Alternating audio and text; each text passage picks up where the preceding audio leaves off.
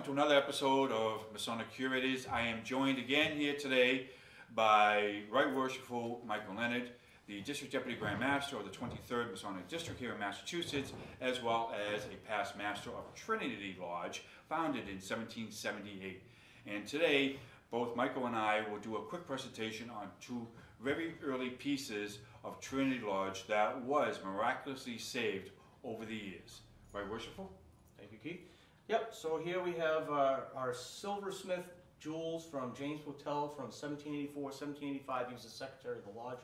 Um, as Keith and I were discussing, some of these jewels really don't depict the modern jewels of what we have today of the stewards and senior, senior and junior deacons. Um, the senior and junior deacon, as we know, is the, the, the, moon, the moon and sun. Uh, we believe that these two jewels at the top may have been the deacon's jewels, as well as the ones on the bottom may have been the steward's jewels. Uh, but as we were talking, there's not so much that we could have gone back to in the 1780s.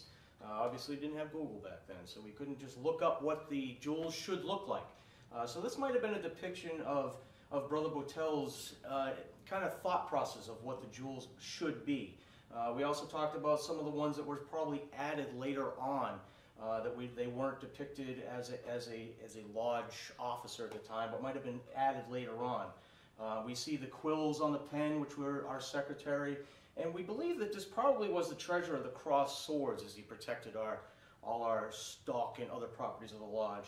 Um, a Tyler's sword, we believe, didn't have a marshal back then, uh, so we believe this might have been added later. We do have an older style baton, which again was probably added later from the archives that were found uh, from the previous law uh, when we moved. Uh, so do we want to talk about the carpet? Uh, if you want to give a date, right, Worshipful? So we believe that this was presented to us in 1784 by a brother. There is another master's carpet that we believe was also presented. That is currently residing at the uh, museum at Lexington, at the Scottish Rite Museum.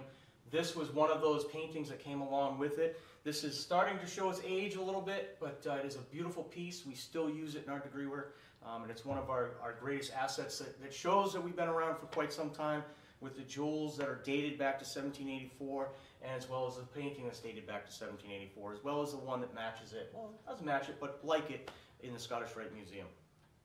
Uh, one of the great things about Trinity Lodge is when they closed in the uh, uh, 1830s because of the anti-Masonic era, uh, they were meeting then in South Lancaster uh, above a general store. The store was actually owned by one of the members, John Thurston. Um, excuse me. And he was nice enough when the lodge closed, you know, when these lodge closed or they, they folded, a lot of the stuff was just left. Uh, the Masons didn't know what to do with it. It was hard times for the Masons. They didn't want to, you know, hold on to the stuff. Um, John was nice enough, our brother John was nice enough to, to leave the stuff as is. As the history of Trinity Lodge states in the book that uh, when the lodge was reformed, they went to John Thurston's house, uh, store and the stuff was still sitting there 30 something years after the lodge had closed. So that's kind of miraculous that these items were there. And this case here shows all of the early items of Trinity Lodge, something you do not see in Masonic Lodge, not even in Paul Revere lodges. It, this is just magnificent.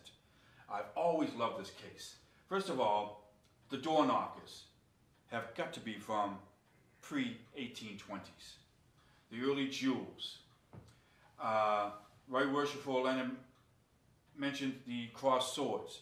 Again, there wasn't any standard sheet to go by. This is what a Masonic jewel looks like. We today go by the cross keys. Cross keys means silence, or key means silence. Swords means security. Now, some of you might think that's the inside sentinel or the inner guard, as some jurisdictions have. Eh, wrong. Inside Sentinel was not an officer until after the anti-Masonic era. Not all officers that we use today were officers in those days. Of course, there wasn't an organist. Mason sang. Though we did have a Tyler, but I don't know why that's different. Marshall was sort of an iffy. A lot of times there was a senior deacon that did the marshal's work. Now the great thing also about Trinity is we do have, as the right worship mentioned, this master's carpet. We only know from the era. This is the oldest master's carpet that I know to exist here in the state of Massachusetts. And if I am wrong, I hope someone please let me know by either sending a comment to our YouTube, our Facebook, or to our email. But if it does date to the 18, 1780s, it is one of the earliest ones here in Massachusetts. And I just want to point out that these have been called by so many names. Tracing board, trestle board, Masonic chart, master's painting, master's carpet, whatever. You're going to find a number of these online if you do your research, what they are called, why they are called. Master's carpet is basically called this.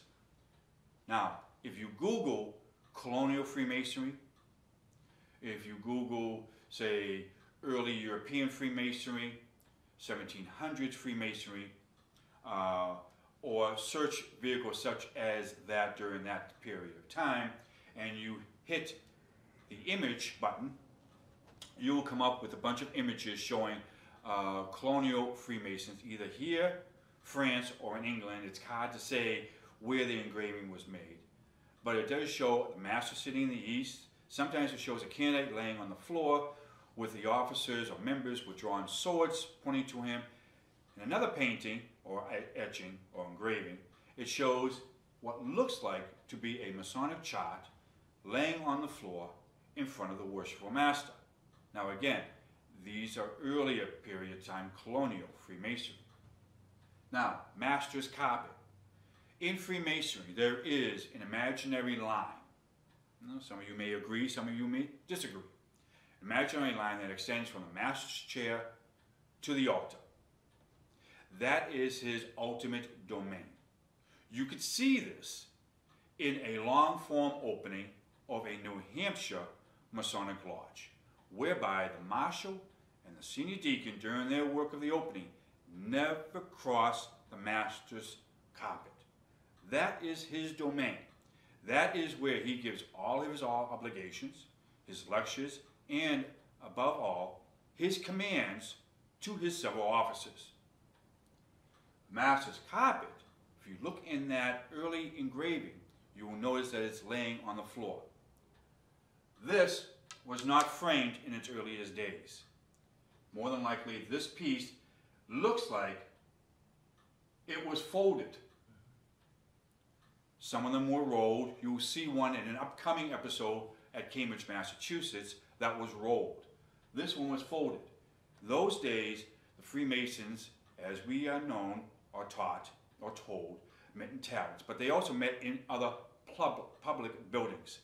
Buildings that not only the Freemasons used, but as well as the public, so everything Masonic had to be put away. So these were folded up, rolled away, rolled up, whatever. when the time came to be used, they would be laid out, opened up, rolled down, and placed in front of the master's office in the area that is known as the master's carpet, which is from the east to the altar. There, the master would then sit in his chair or stand and then give the lecture to the candidate who would probably be standing in this point here looking down top of the carpet. Uh, and because it is called a carpet, it's laid on the floor. Master's carpet because it's laid in front of the master. The master then gives his lecture from that point here in the east. Thus the name, the master's carpet. Right, Worship, do you have anything to add? I think you hit all the points. Thank you. Again, want to thank you very much for viewing. Please watch our past episodes. Please watch for our upcoming episodes. Uh, hit us with the like uh, on, on YouTube, with Facebook, and uh, we'll see you soon. Thank you.